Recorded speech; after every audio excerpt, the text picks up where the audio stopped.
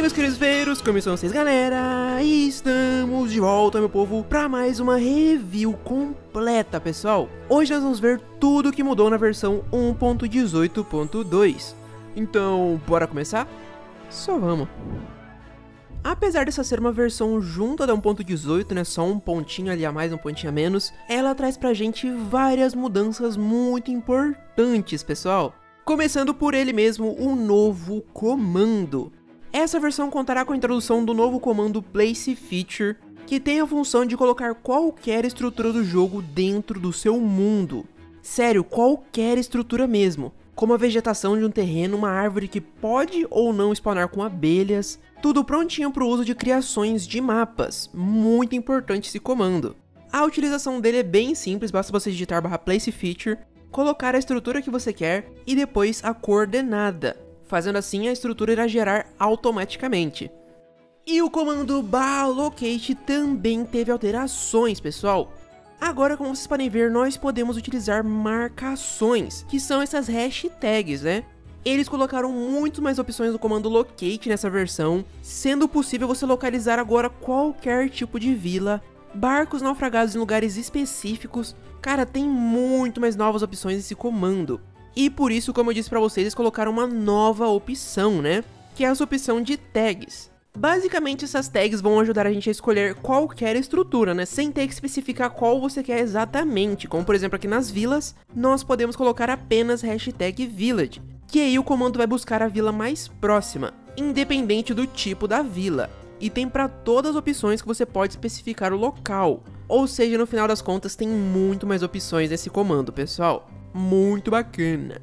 Seguindo para o próximo, nós tivemos alterações em blocos. Apenas um bloco sofreu uma alteração nessa versão, que é o bloco de baú do fim. Eles alteraram para que o baú do fim não tenha mais a decoração de Natal durante o fim do ano, evitando que você fique confuso na hora de saber qual baú você quer utilizar. Agora, mobs.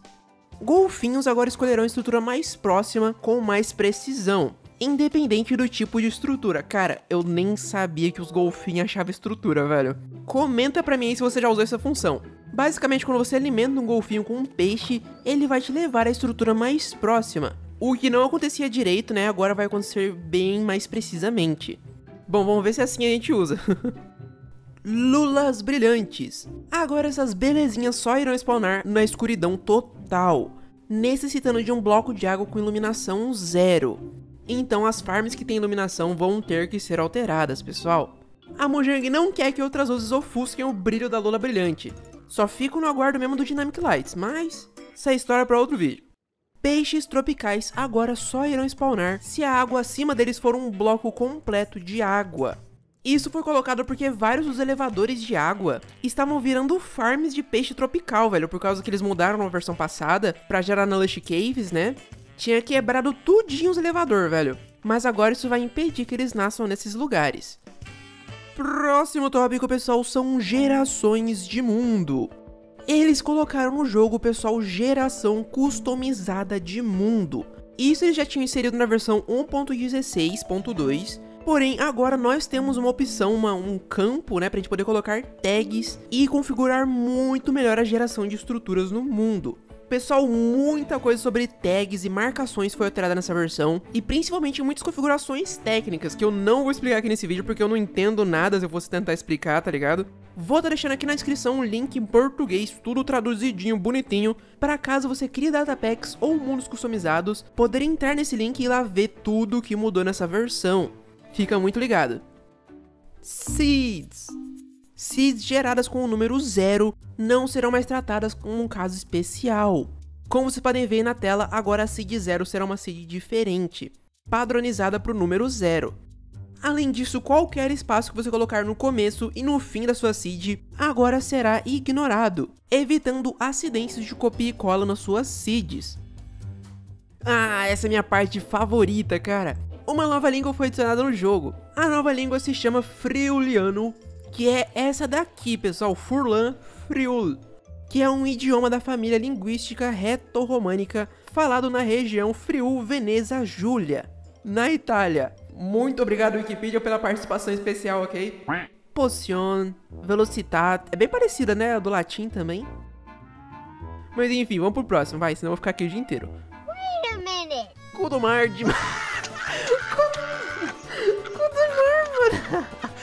Gente, então esse que é o c... do mar, mano. Ai, desculpa, gente. Eu tô zoando uma língua, cara. Que horror que eu sou, velho. Fazer o quê? Ele tem toda a razão. Vamos pro próximo. Colocaram um aviso no jogo para jogadores da Coreia do Sul para fazerem pausas durante o seu gameplay. Uma coisa que é obrigatória por lei na Coreia, né? Eles estão implementando no jogo para reforçar e não ter problemas para eles também. O aviso é basicamente esse que vocês estão vendo na tela, dizendo o seguinte: você tem jogado por uma horas. Jogar excessivamente pode interferir na sua vida diária normal. E esse aviso vem de hora em hora, pessoal, até um máximo de 24 horas. E aí só vai mandar essa mensagem aqui. Você esteve jogando por mais de 24 horas. Jogar excessivamente pode blá blá blá blá, mesma coisa. Então, coisa que a gente nunca vai ver, a não ser que você mora na Coreia do Sul, eu, acho meio difícil, mas se você mora na Coreia do... se você mora na Coreia do Sul, manda um salve aí nos comentários, velho, por favor, obrigado. E falando em avisos, eles também colocaram um aviso no jogo, alertando os jogadores que ainda estão na versão 32 bits do computador, que o suporte para a versão 32 bits será encerrado em breve, pessoal. Então fica muito ligado se seu PC ainda é 32 bits, porque no futuro você não vai mais conseguir jogar Minecraft. PC de 32 bits ainda roda 1.18, tá ligado? Deve rodar todo lagado, coitado, tadinho. Mundo Super Planos. O preset de mundo Redstone Ready, ou pronto para Redstone, teve a sua layer inicial de altura alterada, indo de menos 9 para 55. Basicamente para prevenir que os slimes spawnem nesse preset, porque ninguém quer ter slime atrapalhando as redstone.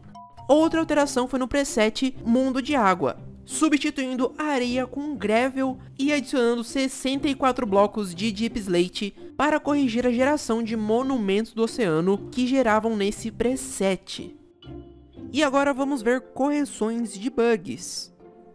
Corrigido um bug onde os mobs de estruturas não geravam corretamente em mundos super planos. E também corrigiram várias estruturas do mundo super plano que não estavam gerando corretamente corrigido vários erros do comando locate ao ser utilizado em um mundo super plano. Corrigido um erro onde invocar areias caindo, ou falling sandblocks né no caso, criava blocos invisíveis. Além disso, ficar em cima de shookers ou barcos quicava você do servidor por voar, dando esse erro que vocês estão vendo na tela. E você também era quicado por voar ao tentar usar um tridente com o encantamento Riptide, ou correnteza, Além disso, se você entrasse num barco, num minecart ou num cavalo dentro de um servidor, enquanto você estava pulando, você também era quicado por voar. A mesma coisa acontecia se você tentasse andar num barco que está com a tag No Gravity. Todos esses bugs foram corrigidos nessa versão. A névoa embaixo d'água não escondia corretamente as bordas de Chunk se você estivesse com uma render distance baixa o efeito de cegueira não funcionava corretamente se fosse usado embaixo d'água, o que agora já tá certinho. E um bug visual muito velho, pessoal, que tá com a gente desde sempre, foi finalmente corrigido.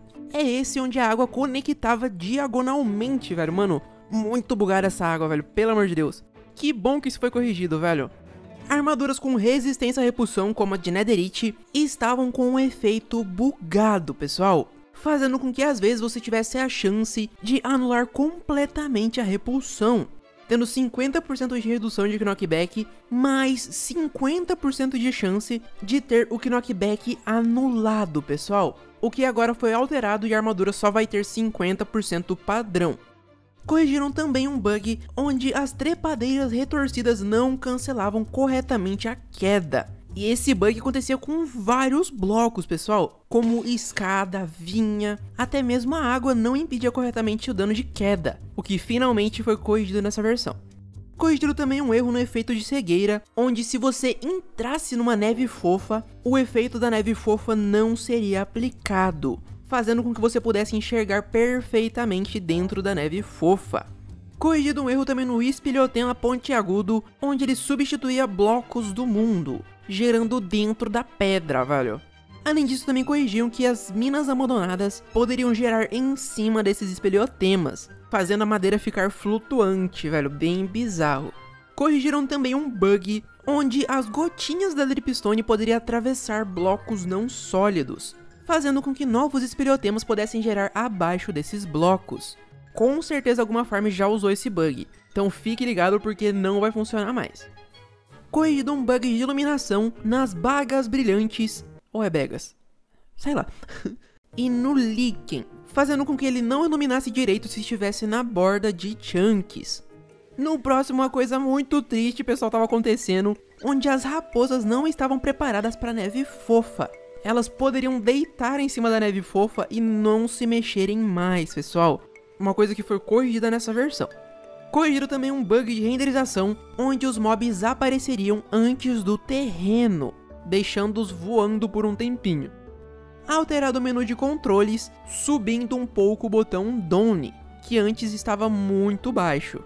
Corrigiram também um bug onde blocos de grama poderiam gerar abaixo d'água. E também alteraram para neve e neve fofa também não gerar embaixo d'água. Em alguns casos, as árvores do bioma de pradaria estavam gerando sem colmeias. O que não pode, né, no bioma de middle ou pradaria, sempre terá uma árvore solitária com colmeia, o que foi corrigido nessa versão. Lulas brilhantes poderiam spawnar nos poços das vilas em mundos super planos. Esse bug eu já vi várias vezes, hein? Que bom que foi corrigido. Alteraram também o spawn das cabras que estavam spawnando em cima da neve fofa e morrendo instantaneamente, tadinhas.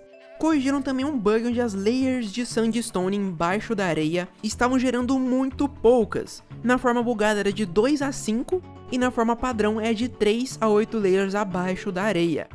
As árvores de azalé estavam gerando incorretamente próximos de biomas com neve e neve fofa, fazendo com que esses blocos não fossem substituídos por terra com raízes, o que agora foi corrigido nessa versão. E falando em terra com raízes, elas estavam podendo substituir os blocos de vinhas da caverna, ficando de um jeito bem bizarro. Durante a geração de mundo, blocos em queda causava bastante lag, o que agora foi corrigido nessa versão. A colisão para o sufocamento de mobs foi alterada, antes calculando apenas o centro da cabeça, fazendo com que agora seja mais preciso. Mais uma coisa para quebrar nossas farms, viu? No multijogador, se alguém entrasse no seu barco enquanto você está dirigindo, a sua visão seria resetada para ficar para frente. Bug bizarro. Oh, esse bug aqui é bem grave, pessoal. Corrigido um erro onde os mobs da invasão poderiam gerar fora da área de simulação, fazendo com que eles fiquem congelados e você nunca consiga completar a invasão corretamente. Isso foi corrigido nessa versão. As tartarugas bebês estavam morrendo sufocadas dentro das areias de almas. Por ter uma hitbox tão baixinha, tá ligado? Ela ficava dentro do bloco e sufocava. Que não está acontecendo mais. A atualizar para a versão 1.18.1 fazia com que baús de dungeons ou de minas, né, os baús que são gerados pelo jogo, ficasse sem loot em chunks antigos, o que foi corrigido nessa versão. Corrigido um bug onde a mesa de encantamento não detectava os livros se tivesse um bloco acima dela na diagonal. Bug bizarro, velho. Fogueiras e funis estavam causando salvamentos constantes, gerando bastante lag para os jogadores. Cara, um bug muito triste também, velho. Se você usasse o encantamento correnteza, os papagaios que estavam no seu ombro poderiam morrer, velho. Ainda bem que isso foi corrigido, velho. Coitados bichinhos. Foram alteradas partículas para os fogos de artifício quando usado com Elytra. O que anteriormente parecia que saia do seu pé, tá ligado? Agora sai corretamente da sua mão. Em primeira pessoa, fica mais pro ladinho. Isso também é compatível com a mão secundária, tá? Olha só, a partícula sai certinho da mão correta. Oi, oi, oi, tá pega. Em primeira pessoa, bem bacana, pessoal. E por último, também corrigiram vários crashes do jogo, pessoal, em várias áreas, que nem vale a pena ficar falando aqui, porque são coisas bem específicas. Mas basicamente é isso, pessoal. Espero que vocês tenham gostado do vídeo. Se gostaram, por favor, se inscreve aqui no canal e ativa o sininho. Mas é isso, vou ficando por aqui. Falou!